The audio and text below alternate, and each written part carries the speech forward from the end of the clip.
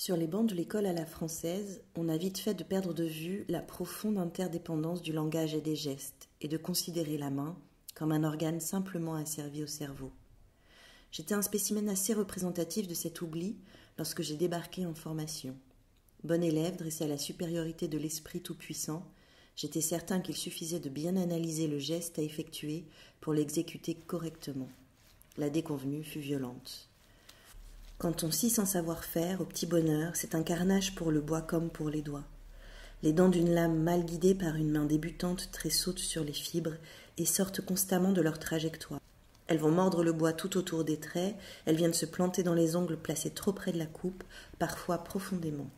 Je revois encore les taches de sang qui maculaient ma première réalisation, les griffures de scie qui marquaient toutes les faces de la pièce, le trait de coupe chaotique avec ses airs de plaie béante, et le regard dépité du formateur qui, contemplant mon œuvre puis le pansement sur mon index droit, semblait se dire encore un de ces binoclars qui aurait mieux fait de rester dans les bouquins.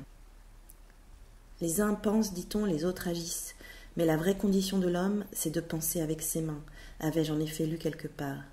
L'idée m'avait fasciné, mais de toute évidence, je n'avais pas encore bien saisi ce qu'elle pouvait signifier concrètement, et mes espoirs de talent inné étaient douchés d'emblée.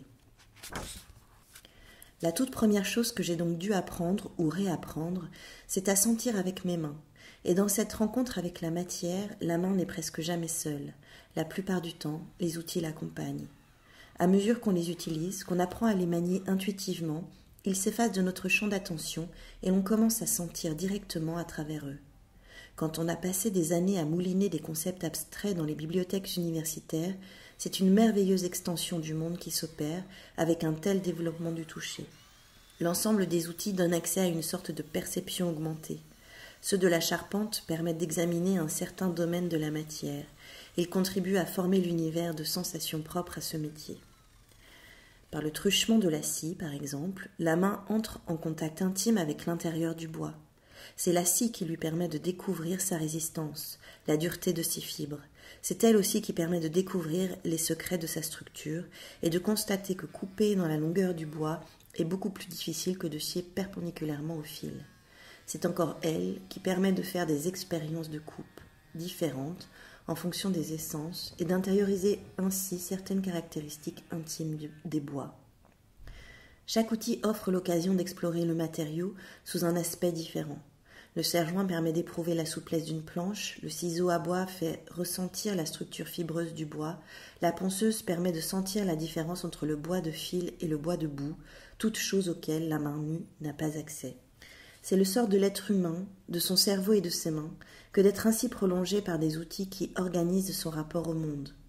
Aristote a parlé des mains comme d'instruments pour des instruments, c'est-à-dire d'organes non spécialisés par opposition par exemple au pied du cheval, dont les sabots n'ont qu'une seule fonction possible, la locomotion. Les mains, elles, peuvent diversifier à l'infini leur mode d'action sur la matière. Elles le peuvent en s'adaptant à chaque nouvelle activité, en se faisant au travail et bien plus vite qu'on ne le pense. Les miennes, par nature, plutôt pâles et fines, me le rappellent à chaque fois que je retourne sur les chantiers après une longue période de travail à l'ordinateur. En l'espace de deux semaines, la peau de la paume épaissit pour se protéger contre les agressions, les muscles des doigts prennent du volume au point que j'ai des difficultés à les croiser, des cales se forment à leur base, les petites griffures noires se multiplient sur les jointures, les veines se dessinent sur le dos des mains et le long des avant-bras.